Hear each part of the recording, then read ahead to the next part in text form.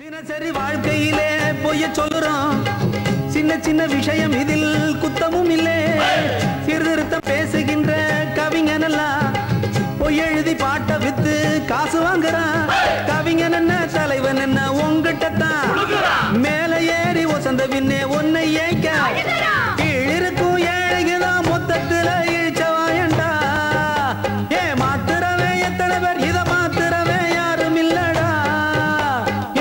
உண்மைய சொல்லுறேன் ஒத்துக்க ஒத்துக்க டக்கரு டக்கரு தான். இந்த ராசாவ இந்த ராசாவ நம்பி வந்த யாரும் அட மோசமே போக போறதில்லை.